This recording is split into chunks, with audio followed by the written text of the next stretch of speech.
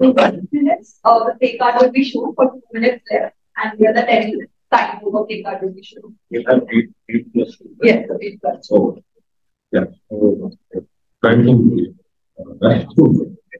Uh, so what, uh, I've done here is, uh, doing a case study on, uh, established, uh, listed Indian company, uh, for the circular economy model and is very successful doing that. Uh, so this is a company called Ganesha is here. It- And what it does is that it converts PET into what's called RPSF. And the impact that it has is that typically when you look at PET bottles, the bottom line is usually one year. And by converting this material into uh, uh, PSF, what happens is that this is actually used in things like clothes, blankets, pillows, toys, etc. And that basically means that the it is. Uh, so the PET industry and typically, uh, the, uh, in the PET product, which is not the recycle, and there's a lot of demand that's going because in India, what you have is a very fast growing FMCG packaging industry, etc. And that's essentially what is driving a lot of the demand for, uh, for, uh, PET. Uh, so if you look at the PET recycling, uh, these are some of the triggers that are positive. Obviously, a lot of growing environmental awareness, which means that a lot of demand for recycled PET. Uh, there's a lot of urbanization and consumption, which means that uh, there's a lot of availability of the raw material, which is the PET bottles, etc. Uh, in terms of technology, what you also find is that there are new technologies that are available to recyclers, like sorting, etc. And that's making it uh, easier uh, for companies. In terms of economic demand, there's, as we said, a lot of demand for PET packaging that is there. Lots of environmental regulations, obviously, because of that that plastic bottles tend to destroy the oceans, etc. And uh, the scarcity of virgin PET, and because virgin PET is scarce, uh, there are uh, you know, alternatives that, uh, and uh, a lot of governments support that stuff also.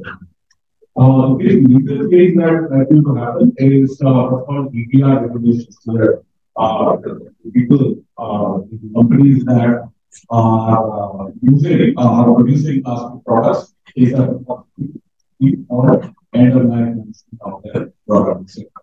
And obviously, there are a lot of ethical considerations in terms of commercial responsibility, etc. So this is, a, this is how the company functions in terms of its value chain. So it sources the PET scrap from a variety of sources, uh, particularly India and across with scrap dealers, waste management companies, consumers, etc. And so it has a very strong network. And then it uses a very uh, state-of-the-art facility in terms of. Uh, fibers. Uh, and then you have the outbound logistics. Uh, most of the savings is in India, but it also exports to about 20 countries. Uh, that's what it does. And then, uh, you know, strong marketing and sales, lot of uh, tech support, etc. Okay. Uh, so this is the product portfolio in terms of the end use. So these are some of the end uh, use products, the fabric, sarees, plus materials, etc. And these are the two forms, rPET fiber and rPET spun Uh, so if you look at uh, the uh, the PET, it's basically the recycled PET is in two forms. Flakes, bottle, plates, and chips. Uh, or plate, uh, chips, textile and recycled fiber. So when you look at how these are basically used, so these are used also in terms of these different type of variants. Some uh, say are basically uh, or uh, uh, food products. Uh, the textile uh, it's, it's like very. Uh, when you look at the SWOT analysis of the company, uh, what it has is a very strong brand name and reputation. Uh, obviously, there are of opportunities that we've already discussed. Uh, the weaknesses are that some reliance on imported raw materials, so things like currency exchange rate, uh, uh, etc., could uh, create a problem for them. uh, limited geographic reach because a lot of these businesses uh, not much in terms of exports, etc. And uh, the threat is obviously the fact that uh, uh, there's a lot of competition from other recycling companies, there will be changes in terms of preferences, etc.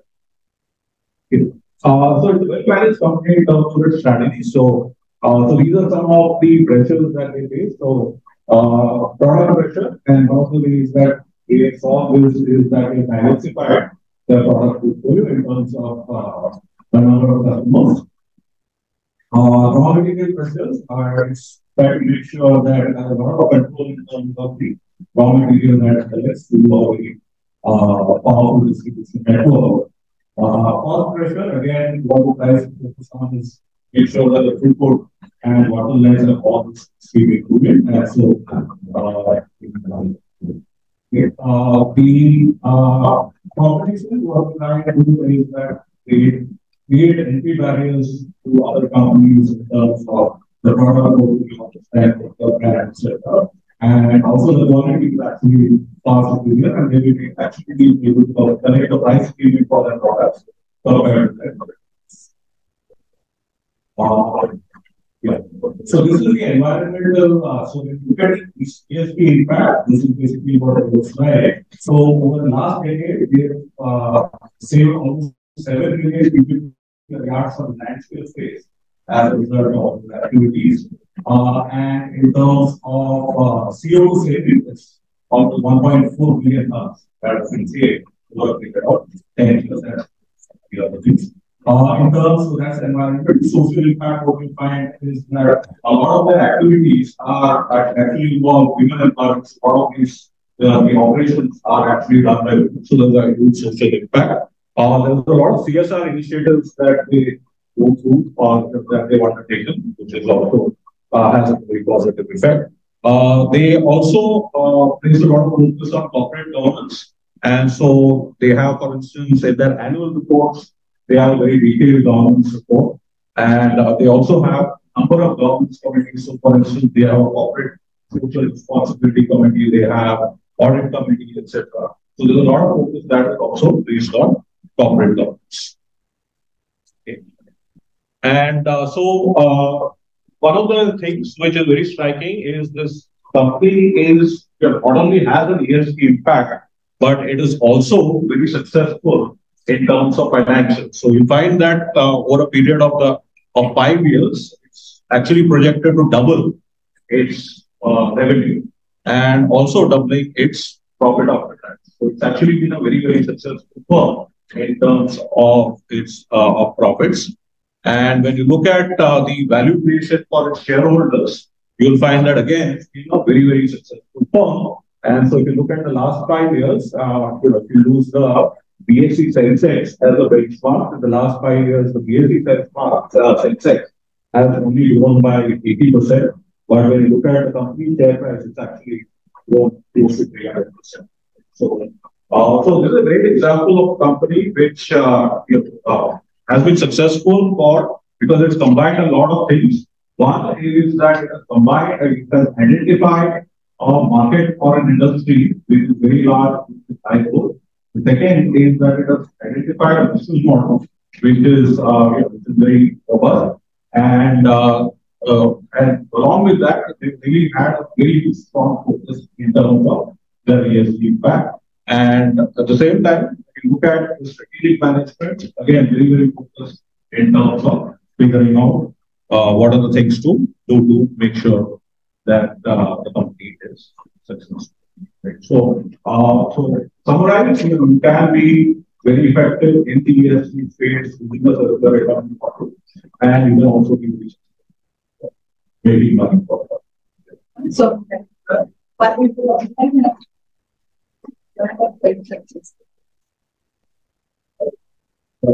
yeah, the, all the of the, uh, I'd like to, and, uh, that we take on for this uh, opportunity for presenting this uh, business plan.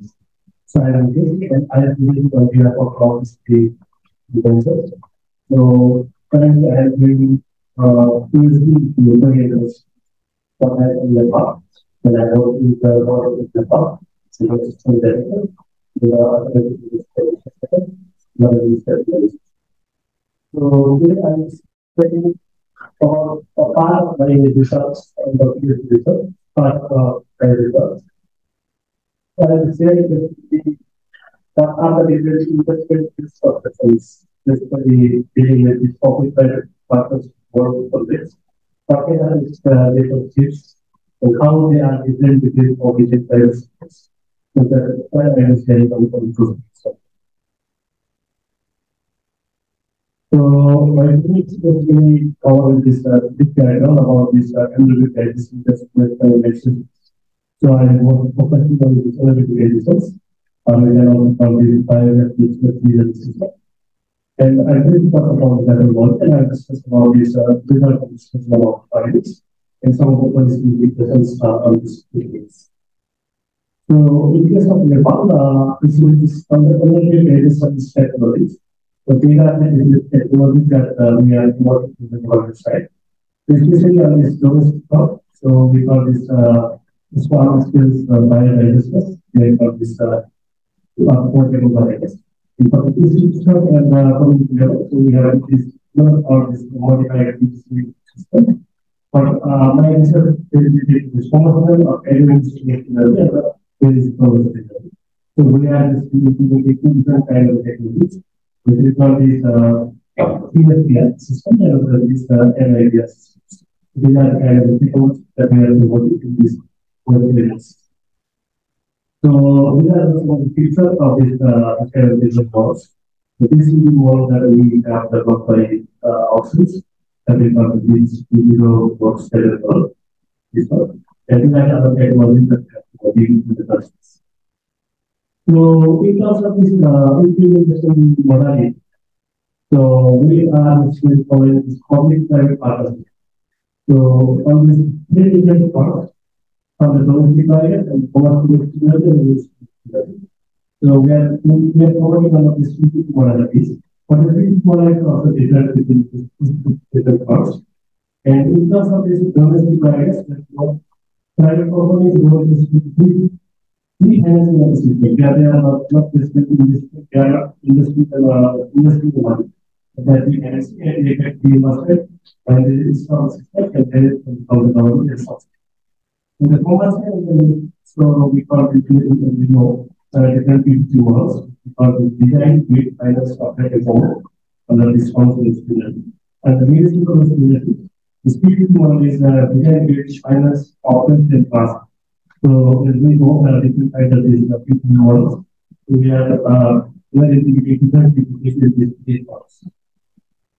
So in terms of these government support, like we also thought about CPF in the body also. So government providing some kind of incentives or subsidies.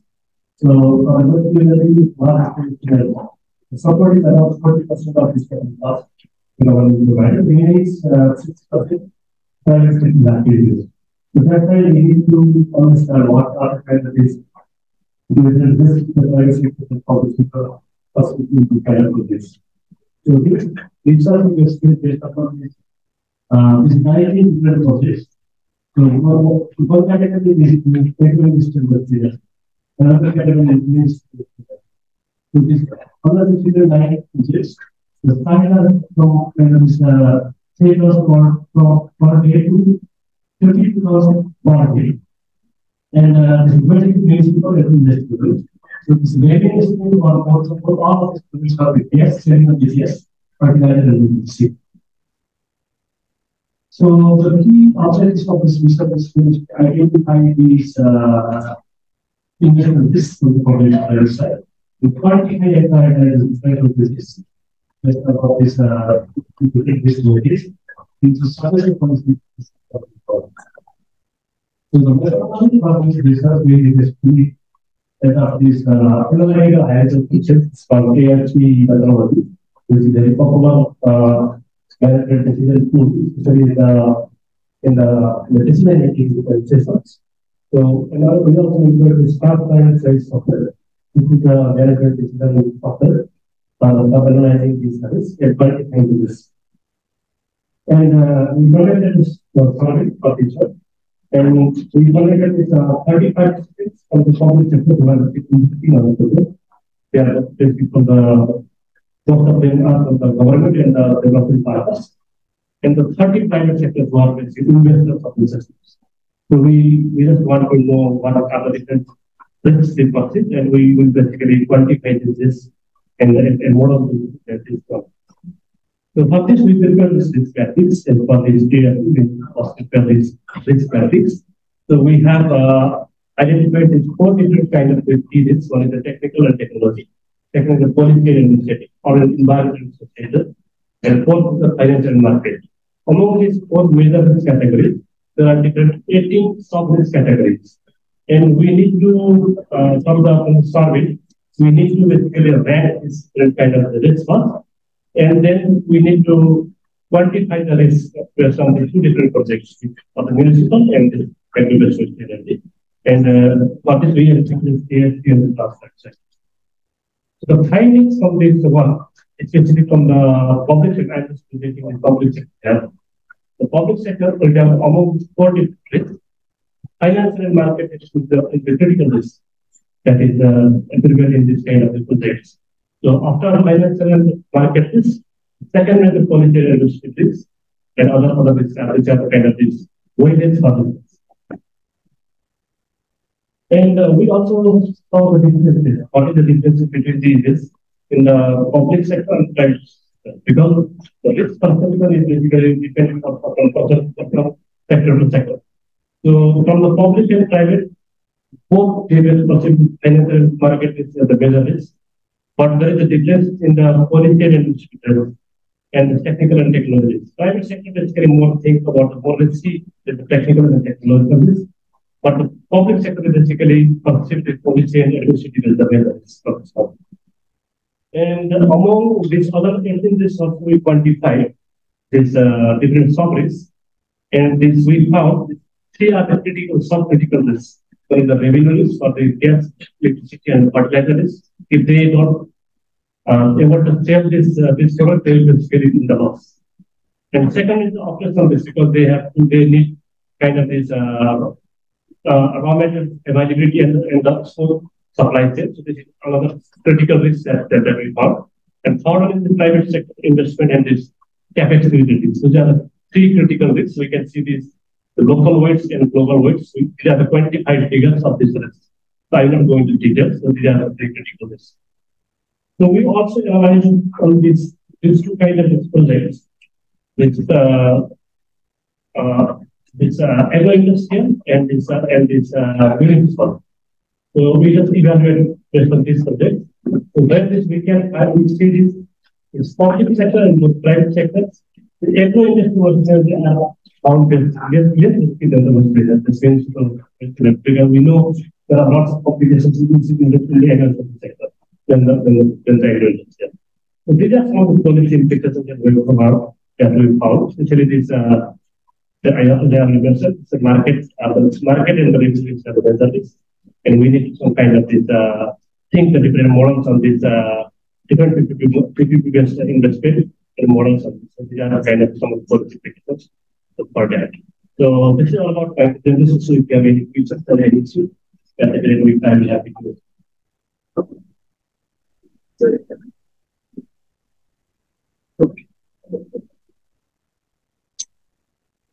Yeah, so people are talking a lot about dealing with waste, what to do that. Waste is basically a the kind of resource. So I think some of the uh, speakers in the morning itself, it's a resource we can utilize. This program of waste from tomato is equivalent to one kilogram of LPG in the form of energy. So it is not actually waste. So if we are able to utilize it, yes, it can be engaging. How? So there are several uh, sorts of this smoke. And when we talk about rural global south, so in rural India, it is uh, four types.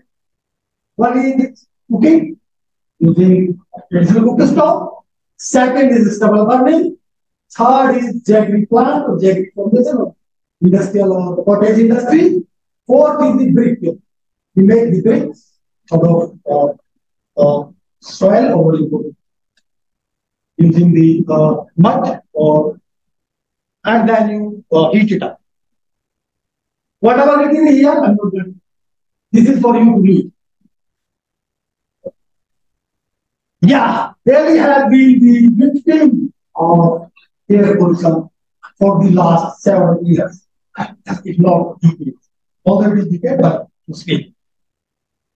Starting from middle of October, when the stubble burning started in the state of Punjab, our Punjab and neighbor Punjab. One third Punjab is with us, two third Punjab is with. And then the entire smoke were there. Because wind generally blows from west to south, east to west, according to the mother of the earth. There is no very rare the wind blowing from north to south is. And that's why entire smoke. And there, and there is also urban pollution in the form of transportation. Vehicle pollution there as well. So it starts and now stop over there and it is difficult to breath in there. People are us. And it is hot view on every time. Can see, yeah. The PM 2.5 or fine and ultra fine particulated matter in India is around 5.2 million tons, out of which around 48% is from biomass, including food. 13%, 6.5% from the property, and 29 times around from industry, including both cottage as well as industry, textile and so on. Even power plant. Yeah, power plant is 8.5 transportation around 7 and rest is So why I said smoke free rural global south because if you take these together and partly some uh, cottage industry, it is almost 60%. So we, if we remove they are And this is the here, there is CO2, CO2 equivalent of methane as well as other gases. Sector-wise energy is the biggest sector for emission in the country globally and is costing around 75% of CO2 equivalent emission when it comes to GHG globally. And because of shortage of time, yes. These are the four uh, three uh, programs which are just going to. Is this development, beginning of the job. This is jet plant. These are the cooking that this is before part of the And this is basically region. The summer burning, the cooking, jelly, and the these are four sectors in India. And similar sectors in African countries. Cooking, this summer burning, shower for formation for cooking, and then again cooking as well. So cooking using charcoal will be majorly so it will be thrown and that will be converted because of that. But they are also using traditional three stone fire cooking stone which is using in the office. Out of this, uh, bargain, there are also pollutants and PM2.5 from yes, polycyclic hydrocarbon, and some of them are carcinogen, which is best. Final ultrafine particulate matter have direct anti doesn't need any gate pass. Directly reach your blood cell, reach the blood, the air, protect the program, wherever it is available. So this is the global setup of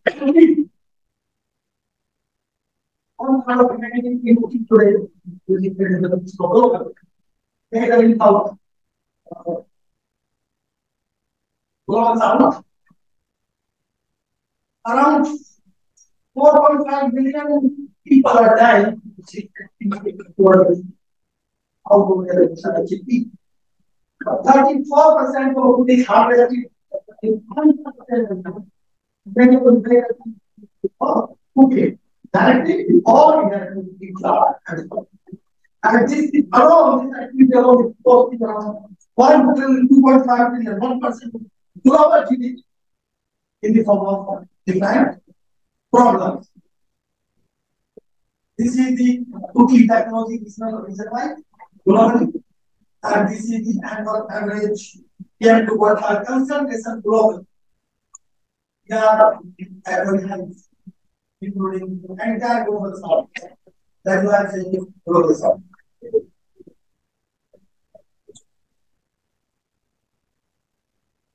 The uh, data for emission, global emission, and we are part of global global Although India is no part to the globe as far as the pollution per capita, India is the least per capita, but our population is too much. If you multiply by 1.4 billion should become use. Otherwise, Canada and US, three countries are the biggest emitter. This is the uh, cook stove which I am speaking in Uganda after few months of critical like that. And then the leakage is there, the wastage, the heat is going waste is there, Uh, and when the heat goes, upon the temperature of the combustion goes going down, and the volatile is supposed to burn, release unburned, leading to problems. Leading to problems. This becomes the in the area Yes, so my point is that if you don't burn the stubble, if you convert it into pellet, pellet can be placed there is no smoke, and clean because it's starting to appear for 15 and 50 pieces in the entire world.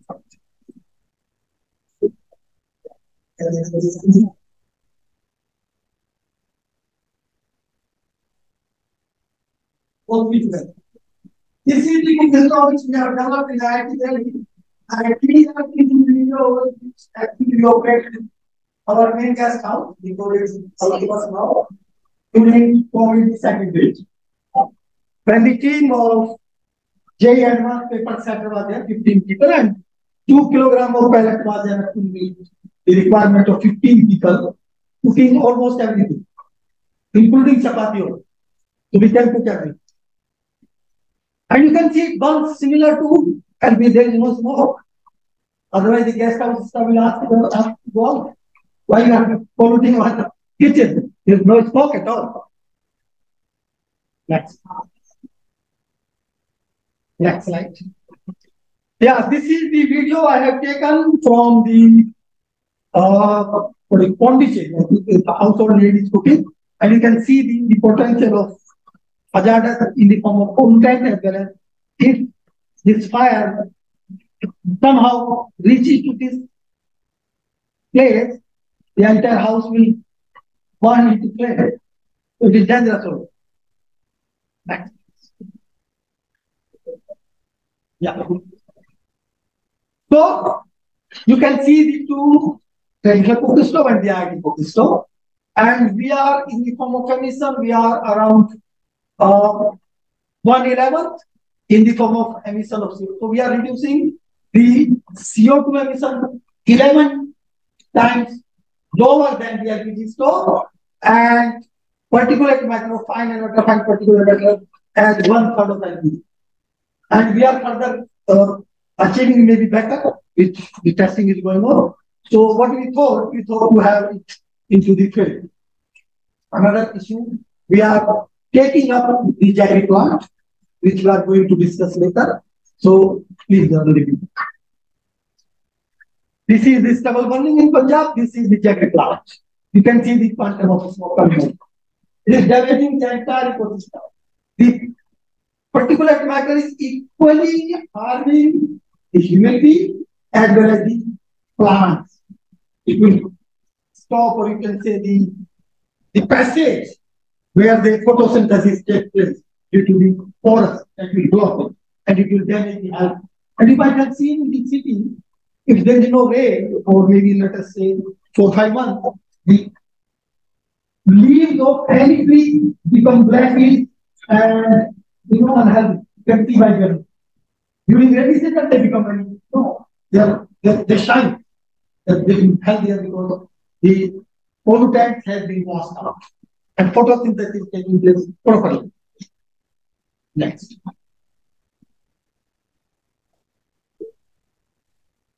Next slide, please. Yeah. So by the three activities, only three activities I have calculated, and we can reduce the CO2 emission of the country by around 20%, particulate matter by around 60% by three.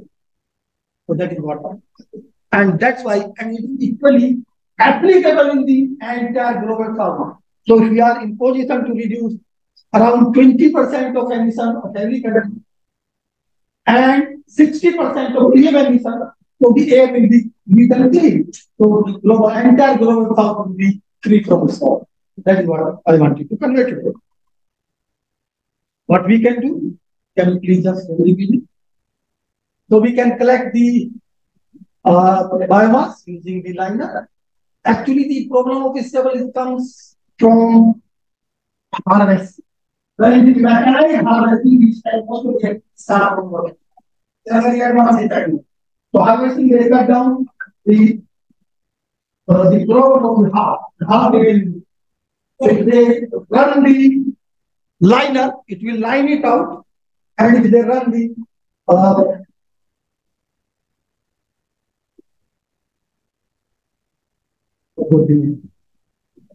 baler. So, so this will bail it out, and bail can be transferred. It can be stored somewhere, and it can be utilized for making pellet mixing with other biomass as well, which is good in properties good for burning and good for releasing least possible smoke. Next. Yeah, the last one. Yes, just like people understand how to make. So it's the uh, medium of the job. You can slightly go faster because it's natural. Yeah. So, uh, this is the video which will project uh, will provide university, IIT Delhi and Sona University, funded by British Council, then those like the partner. So these are the uh, project partners. And we made everything we had to understand whether the person who is using in the field will be able to cook. So if I am able to cook, then the house already is cooking in the house, cannot cook. So we have done everything. We cooked almost every food over there and you cannot find any smoke. Then we have trained the people in the field. We have distributed the cook stove to them. And we are also checking their health, the status of their health before we are disseminated and after three months we are also going to take the data and then we have to quantify how much health benefit are there to people when they are cooking on the Photoshop, we are from small and Photoshop is big. And we are also taking the data using the uh, sampler, a particular matter we are using. And we found that with the background pollution, it is difficult to uh, quantify, but when we are using IIT Photoshop model, almost three times the PM uh, emission for PM pollution has reduced. So it is going to give the health benefit. So these are the team members. Three of them are here, including myself. Yeah. Next, please, quickly, so that she wants to show me again the card. These are other benefits which we can do. So these are the contents that we project on the And next. These are the interns who have worked with the project, and these are the students so far, and this is some uh, Max, and thank you so much. Really enjoyed having you for dealing with this much. I would like to start off by introducing the topic recycling and utilization of waste uh, printed circuit boards. To begin with, uh, with the onset of the Industrial Revolution, the fourth Industrial Revolution, came in uh, the excessive use of electronics and electrical uh, devices. And of course, it had its benefits as well, but I, I would like to talk about the cons, to be precise. Uh, with the advent of this industrial revolution, we saw the use of PCBs, uh, cathode ray tubes, and so on. Over the period of time, the problem occurred in the fact that um, as sorry as time progressed, the uh, uh, generation of e-waste enhanced greatly as uh, of 2020 reported is the fact that over 50 million tons of this e-waste has been generated so far but the problem lies in the fact that only about 20% of this e-waste is recycled globally and in a developing country like india uh, we do not even have uh, proper facilities to recycle this e-waste. Maybe because of lack of knowledge, maybe lack of resources, we are yet to figure out. So today I'm here to just review a couple of methods that we use for recycling of e-waste in order to share uh, uh the various methods and to educate the youth. So some of the various uh, components of e-waste include PCBs, cathode ray tubes, computers, elect- and various other electronic gadgets. Uh, an electronic gadget becomes an e-waste when it basically loses its uh, functional ability and goes more towards the expiry date.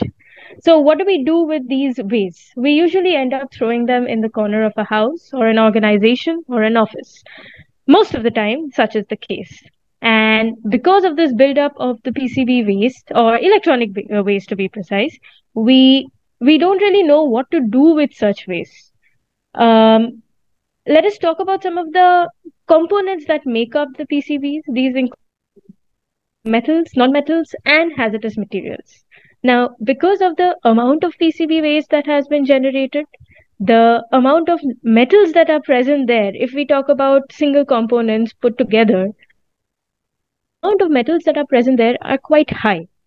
If these metals can be extracted from the PCBs instead of the traditional methods of mining, this could, you know, uh, be quite beneficial. Reason being, extraction of these metals from PCBs is quite simple it doesn't require too much energy as compared to the traditional mining methods. And such, such a method is known as urban mining, which falls directly under the concept of circular economy. We next move on to what are the possible ways in which e-waste is uh, uh, thrown away. The one factor is that it uh, uh after the use of uh, uh, e-waste or PCBs, they are either thrown uh, they are illegally dumped in various countries. They are also it, it has also been seen that PCBs are incinerated. Now the problem is that PCBs have I mean they contain a lot of hazardous materials. When incinerated, these materials they create vapors like brominated dioxins and toxic vapors. Now, of course, this again leads to air pollution so that is not at all a plausible method to discard e-waste. And illegal dumping as well is creating uh, landfills, and that is to be avoided as well. So, coming to the various recycling methods that are available and can be used here as well are the physical and chemical methods. I'll quickly go over the physical and chemical methods. There's gravity separation, corona discharge and electrostatic separation, and mechanic magnetic separation in physical methods. And on the chemical, there's bioleaching, supercritical fluid, and vacuum pyrolysis. The physical methods, under the first bit, is the gravity separation method. This method is purely based on the density and size of the various particles that make up PCBs. Before the use of the physical methods, the PCBs are basically uh, accelerated towards a board and they are crushed in order to get fine particles. When these particles are uh, driven in high velocity uh, towards separation grooves. Based on their density, the various materials fall down uh, uh in the uh, various uh, in the various grooves that are present. Now, how does this happen? Every material, uh, every particle that is present uh, is basically subjected to two types of forces. There's gravitational force as well as drag force. The heavier particles, the denser particles, are subjected to a higher drag force in comparison with gravitational, because of which they move fur further towards the separation, towards the further separation grooves and fall down far away from the original distance. Whereas the low density particles, they fall to uh, fall in the um, grooves which are present at the initial zone from where the particles are impinged. So this is one of the various, uh, one of the plausible methods that may be used to separate uh, heavy and lighter substances that make up the PCBs. We then move on to the corona discharge and electrostatic separation method.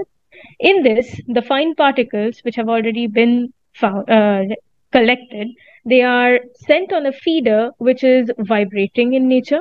Now, this feeder basically dumps these uh, particles to a rolling electrode now or a rolling drum now during the course of time during their fall there's a corona electrode which discharges uh, uh, this thing and because of this discharge the metallic particles they basically roll out and fall to uh, the nearest possible uh, storage dump as can be seen in the figure with uh, the orange dots. Whereas the non-metallic particles they get charged because of the corona electrode and they remain stuck to the rolling electrode and they keep rolling until they meet the brush and then they fall down to another separate storage bin which um, where all the non-conductors are present somewhere in between of course there can be a mixture possible and this is where this is the place which shows the middling uh, storage bin altogether we talk about the third uh, physical method of separation, which is magnetic separation. In this, uh, the um, magnetic and non-magnetic materials can be separated. However, the non-metallic fractions are also collected along with the uh, magnetic fractions, reason being uh, subjection to strong magnetic fields. So it's uh, it's very essential that we actually uh, make sure that the magnetic field is not all that uh, strong, but at the same time, it should also not be that weak. So the balance between the two is quite necessary in order to obtain the right uh, mixture that we are looking for. Lastly, we talk about the three chemical methods. The first is the bioleaching process, where it has been used to extract metals such as copper, zinc, and nickel. In this case, we basically tried to replace the standard acid leaching process with a bioleaching process. And in this, we utilize a weak organic acid along with the use of microorganisms. And the microorganisms, some of them are namely azito, uh, acidithiobacillus ferroxid, uh, ferrooxidans and acidithiobacillus thiooxidans. These, along with the organic acids, they act on the PCB boards and they leach out the uh, copper, zinc, and nickel uh, metals that are present in the PCB itself. So the benefit of this process is basically that uh, the disposal of organic acids is way easier as compared to the inorganic acids that were used earlier we also talk about the supercritical fluid method, where we utilize a supercritical fluid, such as carbon dioxide, for example. In one of the extractions where copper was being extracted, supercritical carbon dioxide was used along with uh, uh, co-solvents like hydrogen peroxide and sulfuric acid. The uh, uniqueness of this particular uh, process is that the reaction time was greatly reduced the reaction time was reduced to 20 minutes instead of the standard 180 minutes that I uh, that was originally used for basic acid leaching. Lastly, we talk about the vacuum pyrolysis method. In this, the PCB is subjected to pyrolysis under very low pressure conditions, which is lower than the atmospheric. And with this process, we get two components, the organic matter and the inorganic matter. The organic matter is distilled away, whereas the inorganic is left behind. Now, of course, there are some pollutants that are created in this case, and these pollutants include uh, methane, bromine, and so on. However, these very pollutants can be used, uh, reused in the process itself, uh, either in the form of heat supply for the, the very process of pyrolysis, or they can be used as chemical feedstock. Uh, so it is talking about uh, we are done Sorry? Sorry? Uh, ma'am, we are done with the time limit for the paper presentation. Okay, okay, okay, okay. Sure, sure. All right. Um, uh, sh should I stop? If you want to conclude at, at then you stop.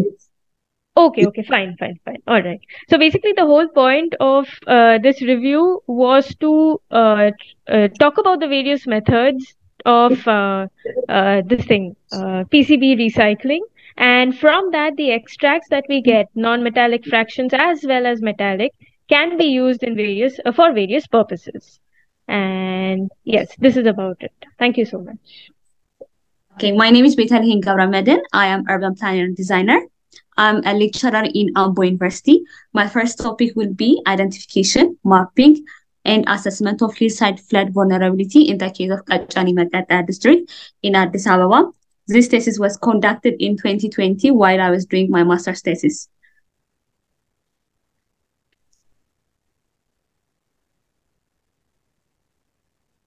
So flood is one of the most devastating natural disasters in the world, and it is known that it can be caused by natural and human-made effects. Uh, Addis Ababa is recently being exposed to uh, flood due to the increasing of precipitation and also urbanization effects. This makes Addis Ababa to be exposed to both riverine and flash flood. And due to high rate of urbanization in Addis Ababa, unplanned hillside development is increasing dramatically, especially in the upper catchment of the Addis. And if there is, uh, it is known that unplanned and unmanaged uh, hillside development can lead uh, flooding effect in the middle and lower catchment of the river. And of course, the upper catchment of the study area or like upper catchment of the stream will be also vulnerable and exposed to hillside flooding. And uh, one of the sites that are vulnerable to hillside flooding is Magata district. There are is found in the footprint of Entoto mountain, the upper catchment area. Their livelihood asset is seriously affected and damaged from the recurrent flooding. Uh, the main reason like I want to identify factors that triggers flooding in the hillside area is because in order to give a solution for any kind of things, we have to identify the real cause what trigger flood and also assess the degree of vulnerability and also identify what kind of impact that it creates in their livelihood. So the specific objective focus on like to identify influencing factors that triggers uh, triggers hillside flooding in the study area to map and describe degree of vulnerability uh, and impacts of livelihood on the community in the study area. So the partial scope uh, focus on the Gulele subcity, Woreda 06, Makata district, and thematically it will focus on the cause and triggering factor of flood in the hillside settlements, and also flood vulnerability and its impact on the livelihood assets, uh, which focus on four the basic parameters, social, economical, physical, and environmental vulnerability. And also the impact will be assessed, direct or indirect uh, impact of flood. So the when it came to the research methodology, there isn't the the study area is selected is because it's located in one of the hilly area. The slope is above 15%. So any slope above 50% is considered to be hilly area. And the study area is one of the second uh, flood prone site due to the topographic nature of the area in Addis Ababa. And in order to identify the, the, the cause of the study area, small scale study is identified and also to uh, understand the relationship between the economic status, the flood impact, and the construction material. Uh, construction material of the sites also being considered when there is a substandard house, what kind of impact does it have with flooding? and also of course the economic status of the community also being used and when you come to the research descriptive and simulation method is used descriptive method is used to assess the flood vulnerability and there are certain indicators are used to assess for flood vulnerability components. And each indicators was uh, um, assessed by giving values from 0 to 1 and this method is called weighted uh, standardized weighted sum method. And 0 means less vulnerable less important. 1 is very important.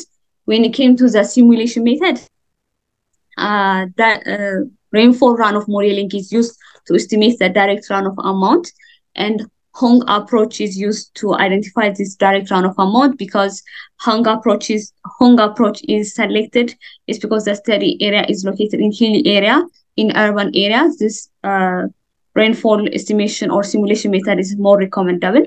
So in order to uh, get the runoff depths, not only the study area is considered, but since the water flow within the hydrological catchment, hydrological catchment of the study area is considered. So uh, four years is used to identify the runoff depths, which is 2005, 2011, 2017, and 2020. The reason 2005, 2011 is selected is where Addis Ababa cadastral map is registered. 2017 is where the flood really occurred in the site, most damage occurred during this time. And 2020 is selected is because it's the Europe where the study is conducted. So different type of data sources used, primary data and secondary data. Primary data more focused on within the community and also community leaders and different governmental uh, structured level office. A different kind of in-depth interview observation questionnaire is used to get the data and secondary data is used to do the simulation and the mapping of the area like rainfall data, soil type, topography, assessments, uh, morphological data, identification of flood exposed sites, and socioeconomic study uh, study area is based on is used based on the secondary data source. So when you see the map of the study area location, you can clearly see that it's located in the upper catchment of in the upper part of or the northern part of Addis Ababa as the foothill of foothill of Entoto mountain and the catchment covers around 6.8 hectare and the case study area is uh, 1.3 hectare and within the case study area there are around 88 housing units and most of them are focused on small scale home-based waivers. So based on the simulation results, uh, we I found that uh, four reasons trigger hillside flooding. The first one is increasing impervious surface area. The second one is increasing rainfall amount. The third one is slope, and the, the last is uh, land use land cover change. So by seeing the differential effect in 2005, the effect of slope is the second influencing factor that generate high runoff next to land use land cover.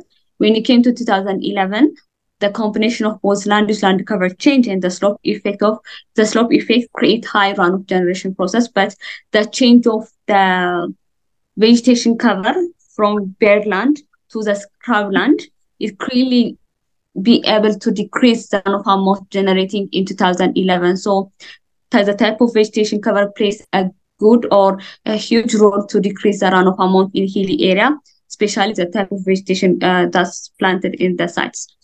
And when it came to 2017, both the combination of the land use, cover, land, use land cover change and the slope has effect on the runoff generation process, but the change of land use land cover was significant.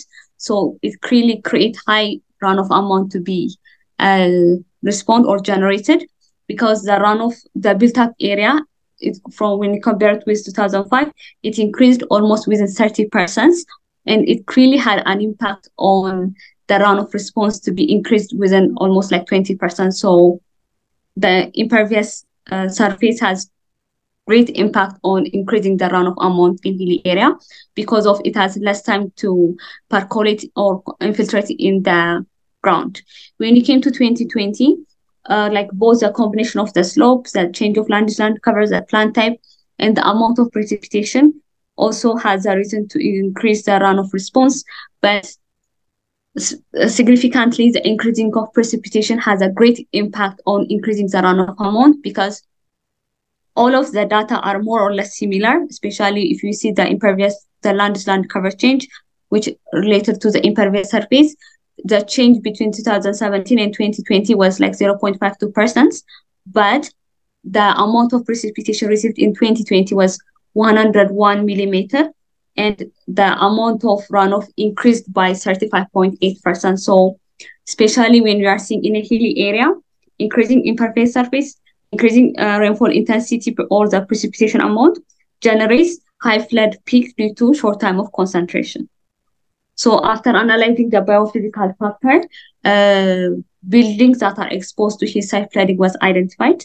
So when we see in the catchment area, most of the buildings are highlighted as a red color, are highly exposed to hillside flooding. But when it came to the specifically our study area, they are more or less or mediumly exposed to hillside flooding. So uh, buildings or residents can be exposed to hillside flooding, but their coping mechanism makes them either more vulnerable or less vulnerable to hillside flooding. So in order to assess this uh, vulnerability, each households were assessed by uh, separately with four different uh, components, social, economical, physical, and environmental vulnerability. And later on, uh, summed and weighted together to identify their flood vulnerability response. So the first one is the social vulnerability. When you see the social vulnerability, the community are considered to be less vulnerable because, as I said before, there are there are waivers who basically came in a uh, live in, in the upper parts based on their kinship. So they try to support each other during the time of crisis with non-coastal way. So their social vulnerability is not that much high, it's very low. This is one of the finding. The another uh, vulnerability assessment results is indicate that the economic vulnerability and the area is considered to be highly vulnerable, economically vulnerable. And because uh, during the Ethiopian rainy season, both the weather effect and the flood effect really disrupt disrupt or distract the co- the community their working environment because there are weavers and the person who collects woods from the forest uh, forest in nearby area. So their source of income the employment status the average income the expenditure and saving uh, their saving uh, experience is calculated. When it came to the second uh, topic is focused on ecosystem-based flood mitigation strategy and livelihood improvement for human settlements on hilly area of Addis Ababa. It's a continuation of the first research and based on the identification of uh, flood vulnerability, factor, trig- uh, factor triggering hillside flooding, uh, it indicates that most of the community are vulnerable to hillside flooding due to their economical situation, they used most of them then coastal uh, flood mitigation strategy to compact the flood impact. And their, the way they construct the houses also had uh, really an impact on being to be vulnerable to flood. So flood mitigation strat- uh, strategy can be categorized into two, structural and non-structural flood measures. Structural flood measure mostly con- focus on uh, construction of um, flood mitigation strategy and the non-structural flood measures considered to be source control and eco-friendly. Combination of both are recommendable to use a flood mitigation strategy.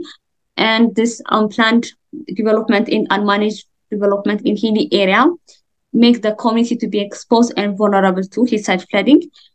And uh, when we see the Addis Ababa flood management policy, mostly they focus on afforestation or river buffering in northern part and uh, construction of retaining wall at the lower part of Addis Ababa. But the gap that identified is most of the government strategy focuses on fo- most of the government strategy focuses on uh, this avoiding the community to be part of the solution makers.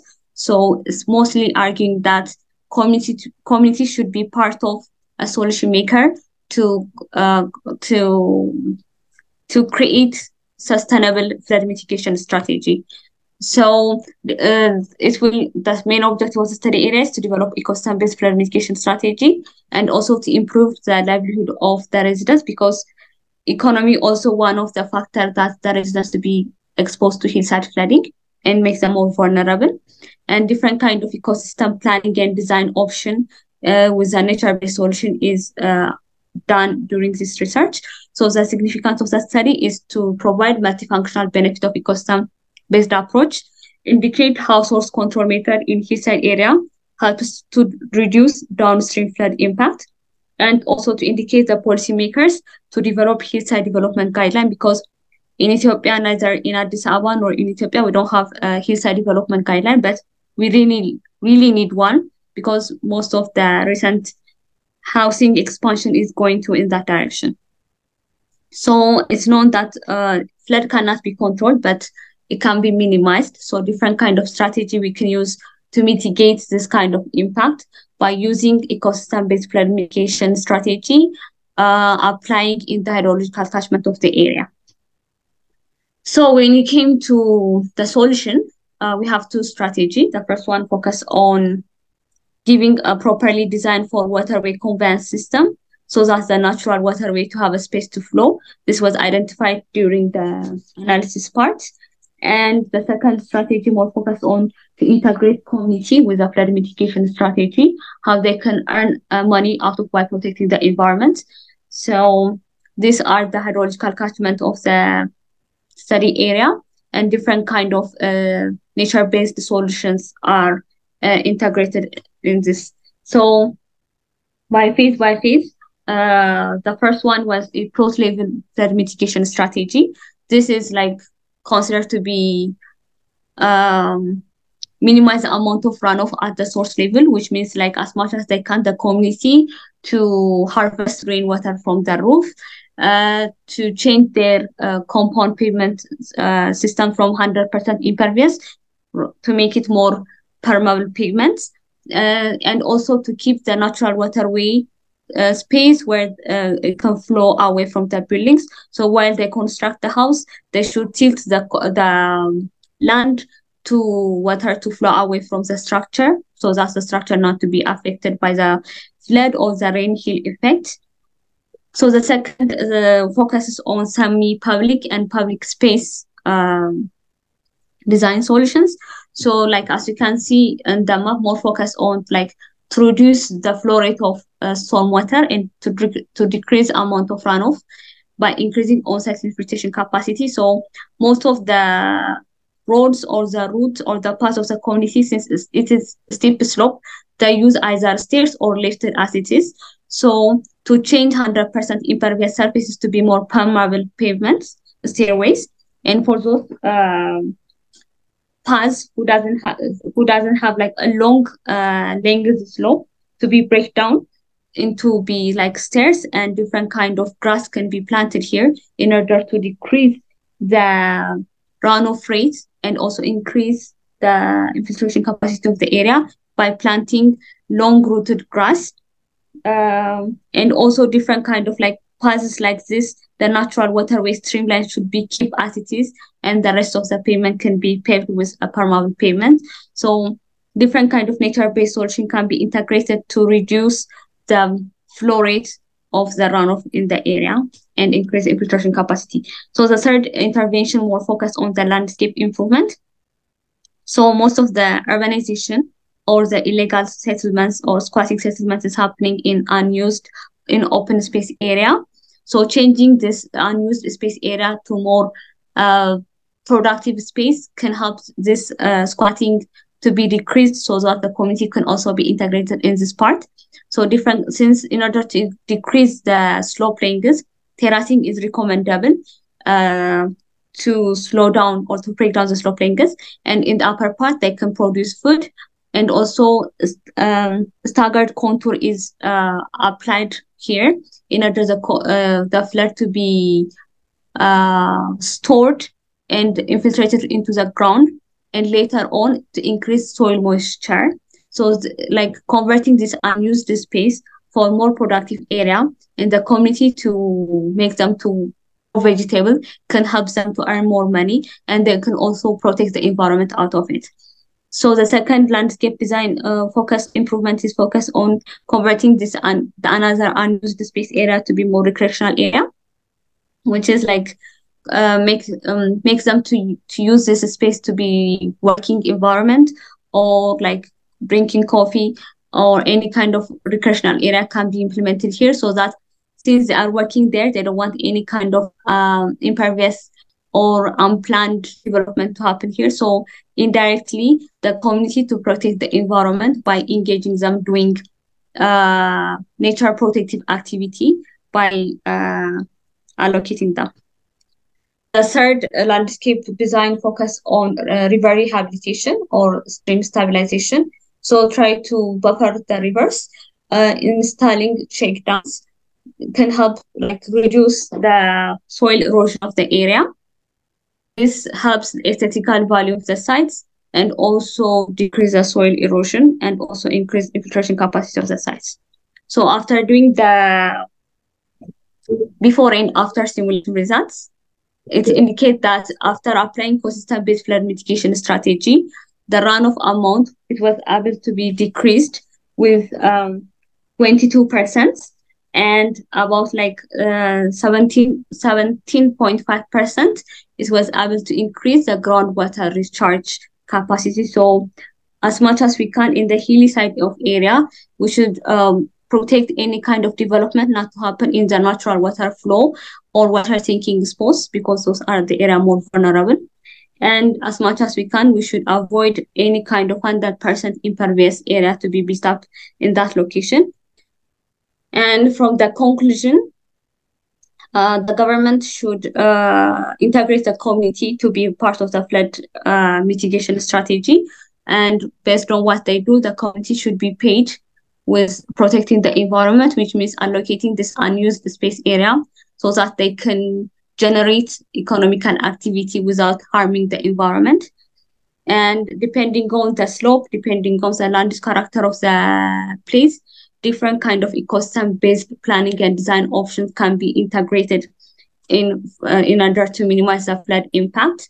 Mm, and also in order to to to to minimize the urbanization effect in this especially area, uh, government and community should work together to protect this environment. And also the policymakers also should uh, come up with different kind of strategy how to compact urbanization in especially in hilly area. So when we like thinking of like flood mitigation strategy, we should always think of like source control or source level controlling method is the best approach. And also not only uh, not only on the source, but also the catchment should be considered to mitigate the flood impact. Different kind of eco-friendly flood mitigation strategy can be used to protect the environment. So there should be um, uh, hillside regulations should be um, properly designed so that the, to decrease the flood impact on site and also the downstream of the city. Thank you.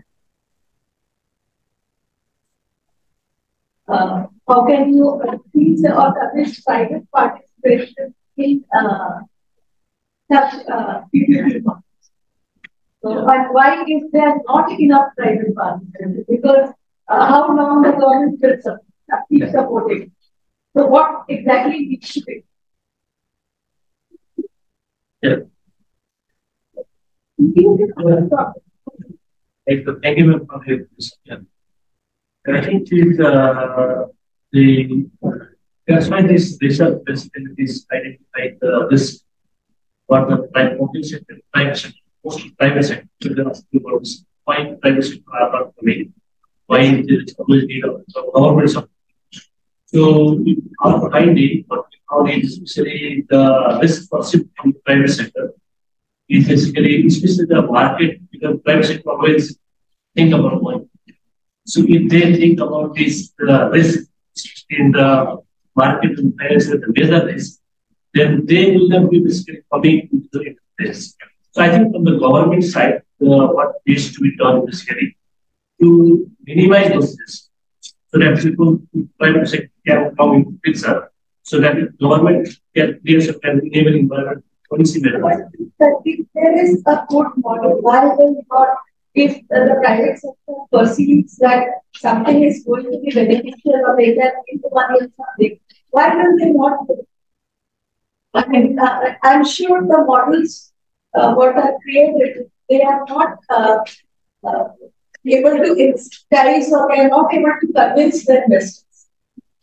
Is it that? Yeah, I think the party both this uh, they have to invest the money in the sector, so they So they perceive the risk is too high. yes, Yes, yes. so uh, there are risks which cannot be decreased. So this can be this, but uh, there's going to be some kind because the management can follow. Again, long chain is there. There- There's not only one kind of this kinds of solutions. The private sector also. So I think we need to look into the whole supply or whole chain issue here. I think from the government private service, uh, uh, motivating to private sector. So I think it's kind of continuous process. And we almost, there are different models, and uh, sources are there, still private sector are not coming there. So I think we need to think from the risk they perceive, would try to minimize those, those. Thank you. What, uh, way, what, which path, or what do you think is important to convert agro waste into biogas? What is more important? You are talking about agro waste to biogas. Yeah. Which route you are going? So we are going this uh, element kind of Just system. I know probably the last Yeah, question, because we need to also move to the next. Sure, sure. No, so last question. To him, uh, then Ishita, I have one question. Uh, yes, ma'am. Okay, Ishita, are you there? Uh, yes, I'm there. I'm there. Ishita, what, uh, your diction is very good. Uh, I have, uh, so that is very good. But one thing you said that bioleaching is under chemical methods. Uh, no, ma'am. Uh, under chemical. Yes, ma'am. Yes, yes, yes. Under chemical methods, you showed bioleaching. Okay, Yes, but ma'am. bioleaching is not, does not classify under uh, chemical methods. Bioleaching Uh. will be under biological methods. Okay, okay, okay, ma'am. or All you right. should put the heading as biochemical methods. Yes. That All would have, right. okay, so Okay, ma'am. both you could have included. So Okay, uh, that is the only thing I wish to say. All And- right. And uh, Benthem, you have done a lot of work on uh, flood mitigation in Ethiopia. Ben, Bethlehem, can you hear me? Yes, yes, I can hear you. Yes, yes. I mean, uh, it would have been very nice to hear you out uh, for longer periods of time. Unfortunately, uh, we didn't have sufficient time, so you had to conclude your presentations early. Uh, but uh, I guess you have done a lot of work, and, and uh, you are a PhD student. I am a master's student. I graduated. Master students, and uh, okay. So, uh, have you published? Uh, yes, I did not publish internationally, but uh, I did my ma- this is my master's thesis. Okay, this is your master's thesis. You have done a very good amount of work. And congratulations. thank